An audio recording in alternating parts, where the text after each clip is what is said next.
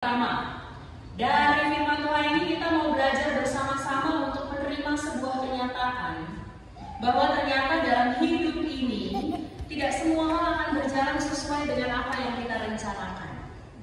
Saya yakin ketika kita diperkenankan oleh Tuhan untuk menapaki tahun baru tahun 2024, pasti Bapak Ibu Saudara dan saya sudah merancangkan beragam hal yang ingin kita lakukan di sepanjang tahun ini.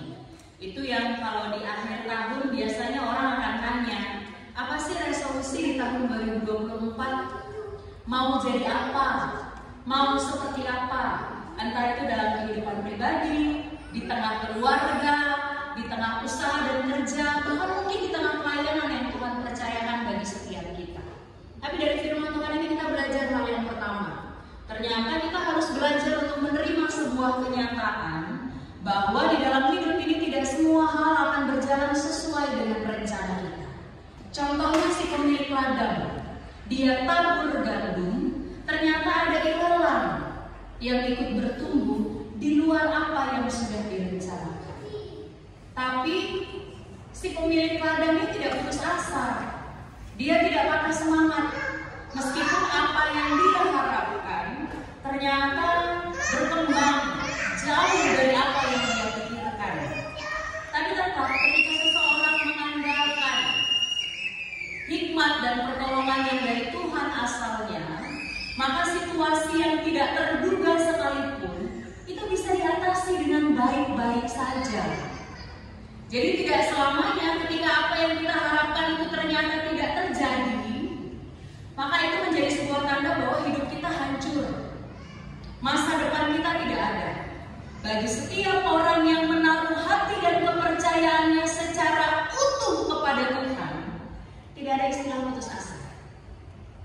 Tidak ada yang namanya masa depan hancur. Karena segala sesuatu yang direncanakan tidak terjadi sesuai dengan kenyataan. Kalaupun tidak terjadi sesuai dengan kenyataan, orang percaya itu yakin bahwa Tuhan akan menuntun kehidupannya. Ada hikmat yang Tuhan berikan bagi setiap orang percaya, sehingga orang percaya bisa menghadapi beragam situasi dan kondisi yang mungkin terjadi di luar ekspektasi atau harapan setiap orang. Tapi paling tidak Bapak Ibu Saudara dalam hidup ini kita harus belajar bersama-sama bahwa tidak semua hal yang kita rencanakan itu bisa terjadi tepat seperti apa yang kita harapkan. Tapi mari belajar bersama-sama menaruh hati dan kepercayaan kepada Tuhan. Bapak Ibu silakan, kita boleh rancangkan segala sesuatu dalam. Tapi di atas semuanya itu jangan lupa katakan untuk Tuhan, Tuhan, ini rencana masa depanmu. Ke depannya mau jadi seperti apa? Biarlah rancangan damai sejahtera Tuhan yang terjadi dan menguasai kehidupan. Jadi tidak ada alasan putus asa. Tidak ada lagi kata-kata yang mengatakan kok begini ya. Baru awal tahun sudah seperti ini. Gimana di pertengahan tahun? Gimana sampai di akhir tahun? Atau bagaimana tahun depan? Tapi apa pun yang kita alami dari bibir mulut Bapak Ibu Saudara dan saya yang keluar itu hanya ungkapan syukur karena Tuhan baik dalam kehidupan.